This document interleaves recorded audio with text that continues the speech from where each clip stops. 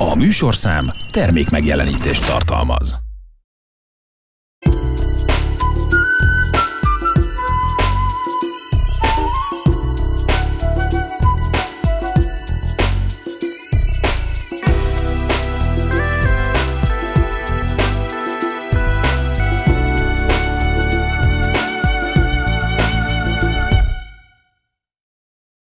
Szép jó estét kívánok! Köszöntöm kulturális magazinunk a Paletta nézőit augusztus 1-én kedden 17 óra 20 perckor. Mai adásunkban először ellátogatunk egy kiváló festőművész tárlatára, majd ismét találkozhatunk nagyváradi színművészekkel egy Petőfi Emlékek est kapcsán rendezett előadói esten. Ezt követően egy összeállítást láthatnak a Lukácsi József emlékestről, végül pedig egy összeállítás következik az Evald Fűvós zenekar koncertjéről. Tartsanak velünk!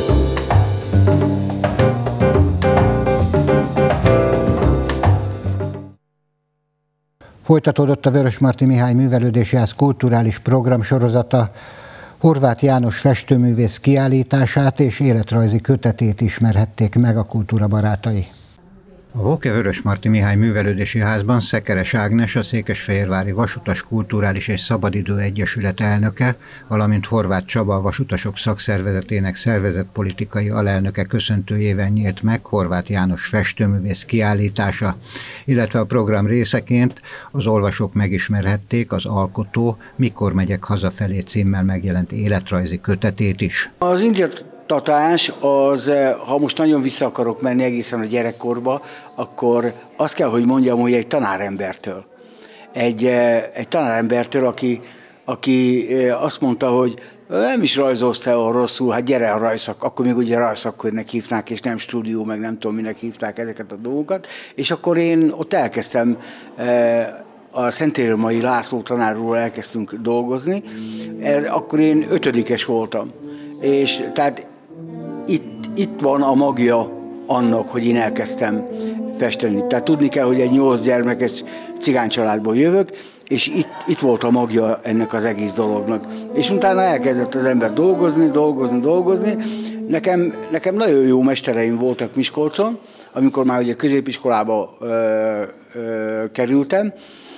Nagyon jó mestereim voltak Miskolcon, a Zsignár Istvánnal kezdtem, ugye ott a tanulmányrajzok, a, a szakmának az alapjainak a megtanulásán túl próbált az ember valamiféle e, saját dolgot kialakítani, és ez a saját dolog kialakulása pedig a Pető János festőgrafikus művésznél, vagy egy kicsit utána már kezdődött el. És utána az ember kereste azt a formát, amikor, amiben ő amiben ő önmagát kiteljesítheti. Tehát én mesélő, mesélő képeknek szoktam ezeket mond, mondani, mert hogy minden eh, képhez egy-egy történet tartozik.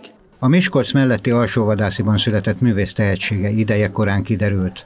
A jelenleg is a vasúton dolgozó alkotó könyvében visszatekint küzdelmes életútjára, amelyben tehetségének és kitartásának is köszönhetően eljutott egy olyan szintre, amelynek csúcspontja, hogy az elmúlt évben Párizsban, a Liszt intézetben elsőként vehette át a Stein Anna díjat. Igazából azt gondoltam én, hogy eh, valahogy nyomot kell hagyni. És a, a könyv eh, volt annak a, a, az alapvető formája, a képeken kívül, hogy, hogy az embernek elmesélje az ember, hogy, hogy eh, vannak nehézségek, vannak sok minden dolog van, ami eh, történik az emberre, de én igazából ebbe a könyvbe szerettem volna megköszönni maguknak, magyar embereknek.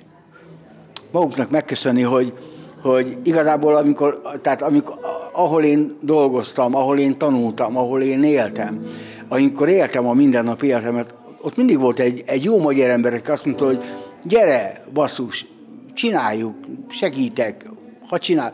És én rengeteg ilyen magyar emberrel találkoztam. És én, eh, én nekik, tehát a könyvbe, eh, hogy úgy mondjam, eh, nekik szeretném ezt megköszönni. A, az egyszerű tanárembernek, a, a melós művezetőnek, a, a szomszédnak, aki, aki, aki, aki szeretettel, barátsággal fordult az ember felé és ezzel úgy, tovább, tovább lökte. Horváth János így fogalmaz a nehézségekben és sikerekben gazdag mindennapjairól. Számomra a vasút a kenyéradó, a festés a szerelem, a közösség építése és szolgálata misszió, a család és a haza pedig szent. Nem sikeres, hanem értékes ember szeretnék lenni. Tudom, hogy Istennek célja van velem, és nekem az a dolgom, hogy azt beteljesítsem. Megértéssel az emberek, alázattal a művészet iránt. Ez az élet célom.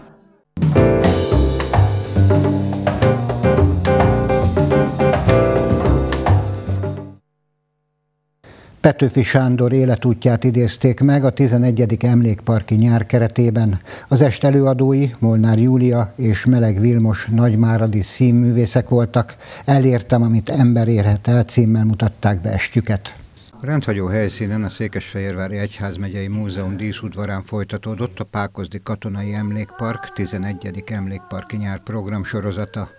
Az Elértem, amit ember érhet el című esten Meleg Vilmos és Molnár Júlia nagyváradi színművészek tolmácsolásában a Petőfi Emlékév keretében a költő életútjához kapcsolódó versek hangzottak el ez egy olyan életmű, amit föl kell időnként villantani, és most, hogy 200 évvel ezelőtt született Petőfi Sándor, még inkább kell meglobogtatni, hiszen egy olyan zászlónk ő nekünk, zászlós hajónk, amit követni kell. És a kötetet is azért hoztam volt létre, hogy minél több emberhez eljusson legalább a családi költészete most, amikor a, a család fontossága fölértékelődött, de ugyanakkor az ő forradalmisága, az élet műve, a szerelemtől a halálig, az a gyors hét év, amit ő itt hagyott nekünk, sok-sok száz eh, versbe zárva, azt ki kell bontani és át kell nyújtani a hallgatóságnak. Minél többször. Szép kocsit csináltatok, édesanyám számára. Nem kell, hogy a templomot gyalogosan járja, lesz arany szegélyzetű, imádságos könyve. Krisztus Urunk képe lesz szépen becve benne. Pistinak meg, majd veszek drága paripákat. Rajtok jó istók, öcsém, vásárokra járhat. Végezetül lesz nekem túls gazdag könyvtárom, akkor majd a verseket nem pénzért csinálom, ingyen osztom azokat szét az újságokban. Minden szerkesztő tudom szívesen fogadja, s hogyha szép ját kaphatok, de magyar lelkütám, én csapán táncolni fog fialakodalmán. Így élünk majd boldogan a mulatságoknak. Így bíz édes szülői, gazdagodjon meg csak. A mai előadásban szerettem volna egy picit az életművet követni, tehát a, a visszaemlékezések a családra, mert hát a kötet adja az alapot, de elvisz egészen a forradalomig, a, a nemzeti dalig, amivel szinte zárjuk, hiszen utolsó előtti vers földarabolva szakaszonként, ahogy a az ének változatába összehozták, hiszen közte még egy-két verset idézek, és a, a Magyarok Istenével zárom ezt a műsort, mert úgy gondolom, hogy Petőfi élete és halála eh, megveteli tőlünk azt, hogy az életművét teljes egészébe próbáljuk átnyújtani, ami teljesen lehetetlen, de kóstoló szintjén, ízelítő szintjén mégiscsak érintsük azokat az állomásokat, amit ő végigjárt. Molnár Júlia 1983 óta a Nagyváradi Szigligeti Társulat tagja. A sikerekben gazdag színész és előadóművész meg annyi fontos szerepet játszott el pályafutása során, emellett egyéni estjeivel is kivételes mélységeket idézett meg. A Petőfi évfordulón a kivételesen gazdag életmű egy-egy vershez köthető pillanatait tárta elénk. Én csak egyszerűen újra felfedeztem. Mondjuk én szeretem amúgy nagyon a verseket, de bámulatba ejtett, hogy mennyi mindent mennyi minden össze van benne sűrítve, és hogy milyen könnyen tanulhatók ezek a versek. Tehát egyszerűen az ember leül, és látja maga előtt azt a tájat, a tiszát, amit ő leírt. Bámulatos, gyönyörű, elvarázsolja az embert. Én, én persze nyilván már tehát olvasgattam többször, meg ezelőtt is, anélkül, hogy még tudtuk volna, hogy lesz a műsor, és most újra felfedeztem magamnak, és ennek nagyon örülök. És, és a legcsodálatosabb az volt, hogy mi próbáltunk, a fiam, hogy hát már ez a korosztály ez már teljesen más, és végigült, és mindig hallgatta. Tehát onnan gondolom, hogy azért még a mai korosztálynak is tud ez üzenni. Mert ott ült mellettünk, és ő hallgatta ezt a műsort, többször is végighallgatta. És ez már egy 24 éves fiatal embertől ez egy nagy fegyvertény. Tehát, hogy láttam, hogy jött egyenesen, és ült les, hallgatta a verseket. Ez nagyon nagy dolog. Nem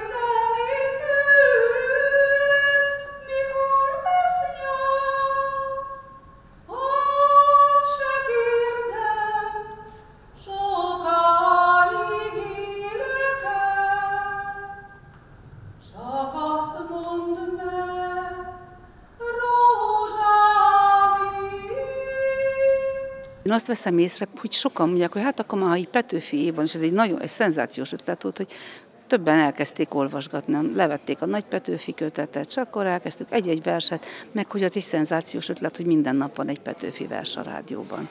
Hát ez, ez valami fantasztikus. És most kezd, új, az ember eltelik egy idő, és új füllel hallgatja. Másképpen hallgattam ezelőtt 20 évvel, vagy 25 évvel, és most megint másképpen hallgatom engem, engem elvarázsol, egyszerűen elvarázsol a világa, a, ezt a, én a Tyler bíró verseibe bele vagyok szerelmesedve. Nekem annyira tetszik, hogy egyszerűen látom, mind filmszerűen pereg az ember előtt az, amit ő ír, ez valami csodálatos. Az est ismét megerősítést hozott a Petőfi életmű teljessége a 21. században is egyedi emberi és alkotói impulzusokkal teszi ünnepévé a hétköznapokat.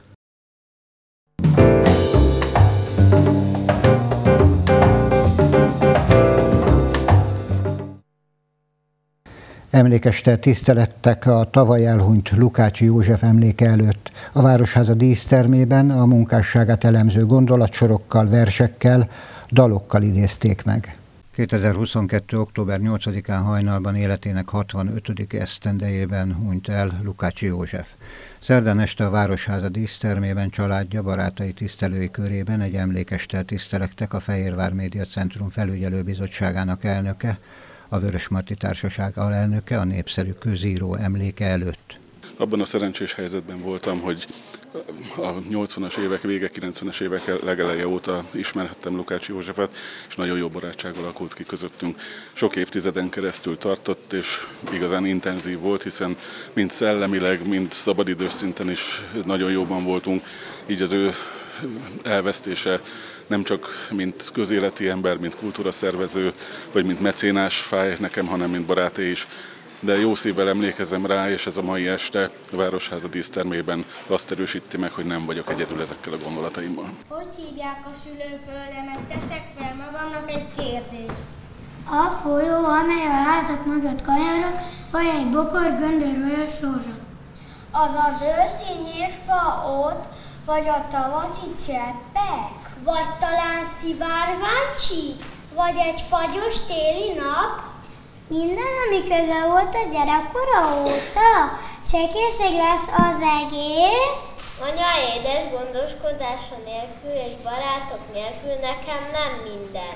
Ezt hívják szülőföldnek, hogy mindig egymás mellett legyen. Mindenki, aki támogatja, mosolyog, kinek szüksége van rám.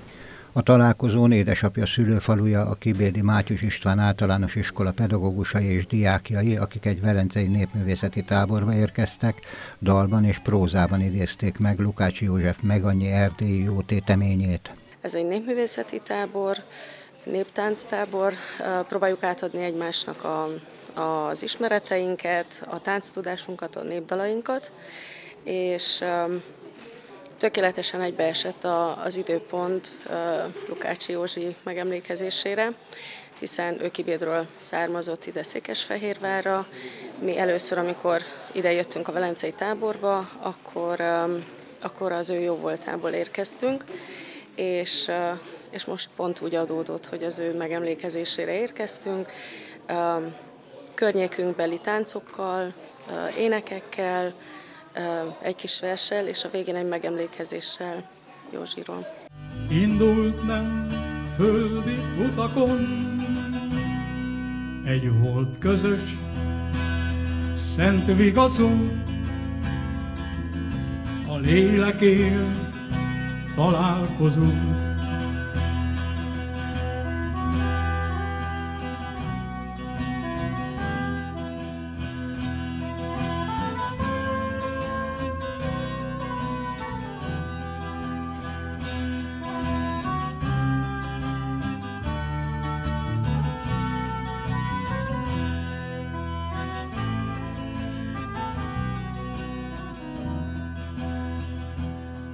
A roncsolt anyagon diadalmas lelked megállt, s megnézve bátran a halál. Hitte reménnyel gazdagon, indult nem földi utakon. Az emlékműsorban Cserta Gábor és társai megzenésített versekkel emlékeztek. A vendégek meghallgathatták a Vörösmarty Társaság tagjainak Lukács József munkásságát elemző gondolatait. Bakony István József Attila díjas irodalomtörténész jegyzete az Agyfogyatkozás című kötet kapcsán született. Tavaly nagyon megdöbbentett a halálhíre, bár sajnos várható volt, hiszen hosszú ideig betegeskedett.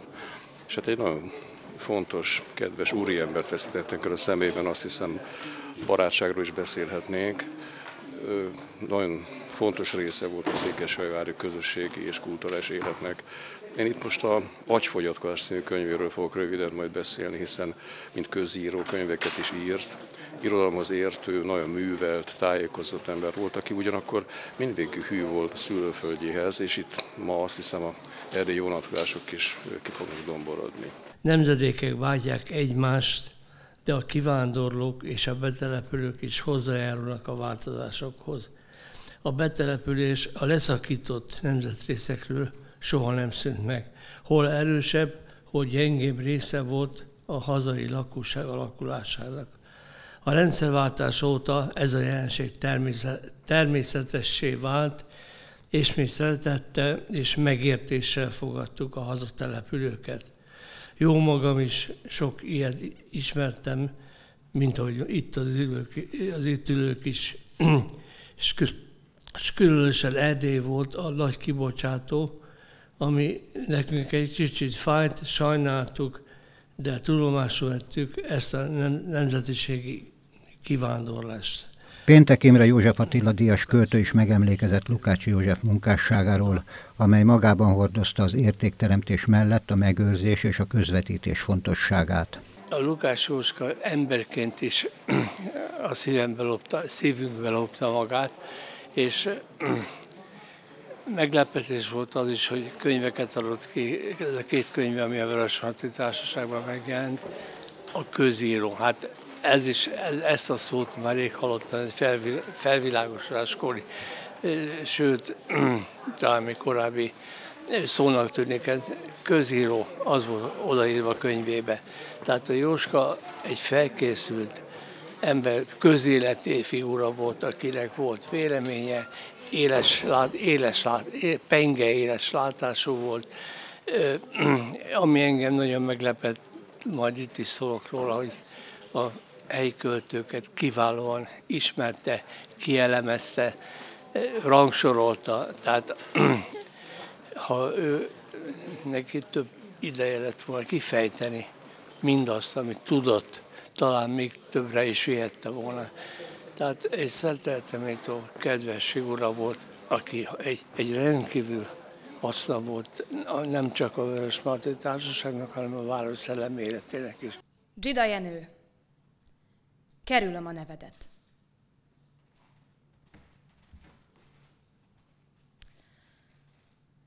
Azt mondják, kerülöm a nevedet.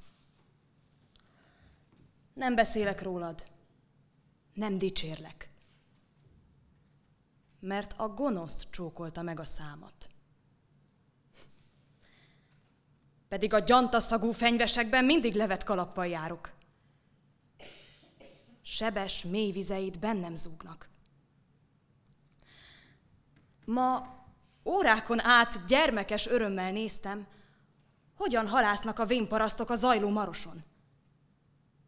És mikor a szabályos, négyszögű légből halat rántott ki valamelyik, ugye, hogy neked köszöntem meg. És mégis kerülöm a nevedet, amit káromkodó kocsisok és esküdöző kalmárok szájából hallok. A Fehérvári versünnep nagyon fontos volt Lukács Józsefnek, ennek tükrében a versünnep egykori kiválóságai Barát Eszter, Varga Eszter, Ferenci Nagy Boglárka, Csengei Márton és Strasser Domonkos egy-egy Lukács József által tisztelt költőversét tolmácsolta az élet és a költészet összefonódása jegyében. Lukács Józsi bácsi nekünk családi jó barátunk volt, és nekem nagyon kedves emlékeim vannak róla egészen kicsi koromtól kezdve. Ezért is éreztem szívügyemnek, hogy itt most megszólaljak, és és az egyik kedvenc versét elmondhassam. Nekem nagyon sokat jelentett az egész családunknak, végigkísérte az életemet, mondom kisgyerekkoromtól kezdve egy, egy fontos figura volt, a nagyszüleimnek az egyik legközelebbi barátja, édesapámnak is jó barátja volt. Úgyhogy, úgyhogy nekem mindenképpen nagyon fontos, hogy megszólaltassak egy szívéhez közel álló verset. Így áradt a sós tenger vízszéjjel, s fölipém algák garmadája a napében, lőn az egy sejtűnek egy szuszra mája, s gyémántolt minden csigolyája.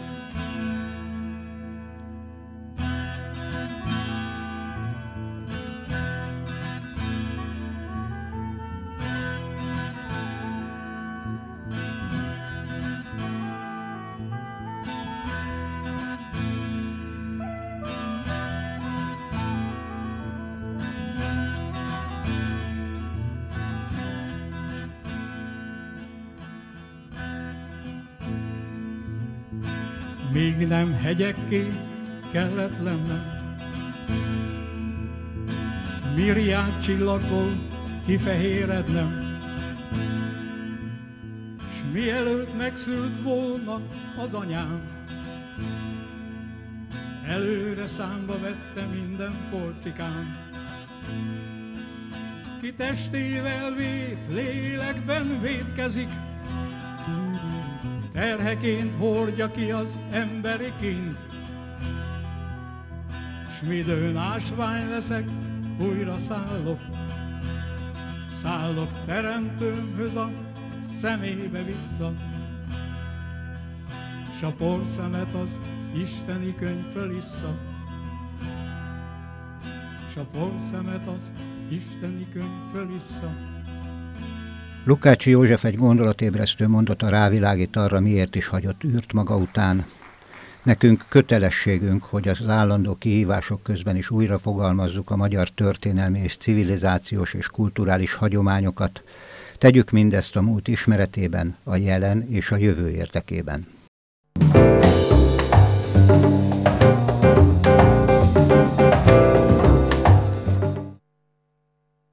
Folytatódott a Harmonia Albenzis templomi koncertsorozat. A Ciszterci templomban az Evált részfúvós együttes muzsikáját hallhatták meg a zenebarátok.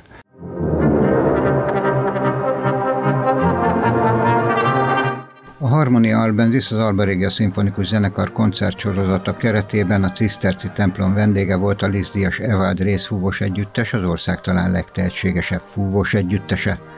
Bakó Levente és csapata nyitottak minden stílus irányzat a könnyebb és komolyabb műfajok felé egyaránt, az egyetlen kritérium számukra a minőség. Az együttes 1996-ban alakult a Liszt Ferenc Zeneművészeti Egyetem akkori hallgatóiból. Gyakorlatilag ugye 96-ban alakult az együttes a Zeneakadémia akkori hallgatóiból, a jelenlegi tagjai Bakó Levente, Tarkó Tamás, Sonkovics, Lóránd, Magyar Péter és Peresztegi Attila, és az első művek közül volt a Viktor Évald Desdor Quintet, ami a 98-as Narboni részhúvos Quintet olimpián, ha lehet így mondani, a kötelező darab.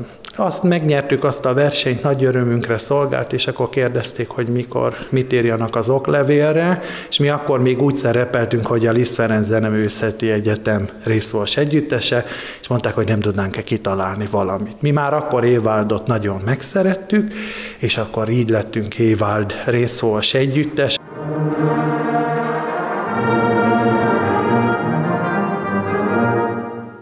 A kvintet művészei szólistaként is elismertek országos versenyek győztesei, illetve díjazottjai. Első nemzetközi versenyükön 1998-ban a műfaj legrangosabb világversenyén a franciaországi Narbonban megrendezésre került hetedik nemzetközi részfúvós kvintet verseny első és külön díját is elnyerték. Ezt követően az együttes nyolc nemzetközi versenyről hozott haza rangos díjakat. Tulajdonképpen egy ilyen aláhúzás, de mindig azt szoktam mondani, hogy a díjak, versenyeredmények egy öt percig tartó öröm, de utána nagyon nagy felelősség, hiszen az együttest kezdetben pont a nagyon sok nemzetközi versenydíja miatt hívták meg, és most aztán, hogy már azt gondolom 27 év után, hogy rutinos előadókkal váltunk, még inkább azért ez egy pozitív teher, hiszen a közönség nem úgy jön el egy koncertre, mint egy rezes bandának a koncertjére, hanem hozzá van szokva a kifinomult hangzáshoz, darabválasztásokhoz. És most már egy kicsit így félve merem mondani, de egy kicsit a számok között lévő kis konferálásaimat is megszokták, megszerették az emberek, és így ez így együtt komplexé vált. Az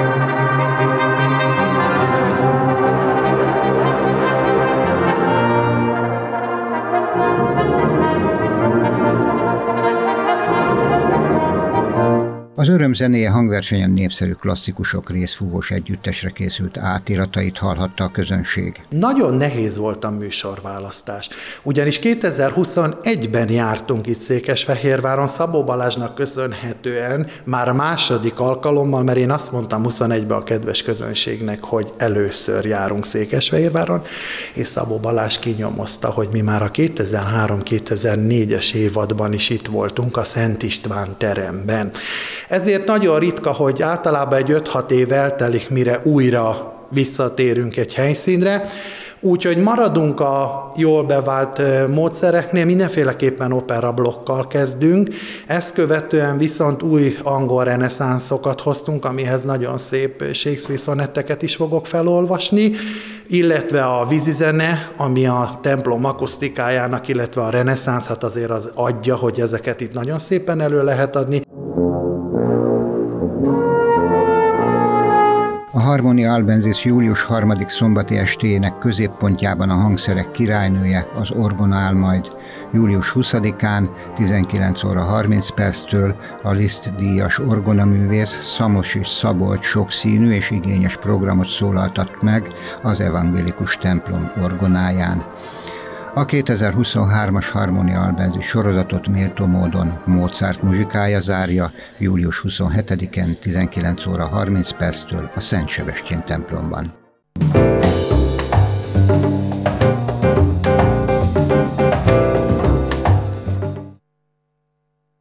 Kedves nézőink, köszönöm megtisztelő figyelmüket, találkozunk a jövő héten ugyanebben az időpontban, ugyanitt, viszontlátásra!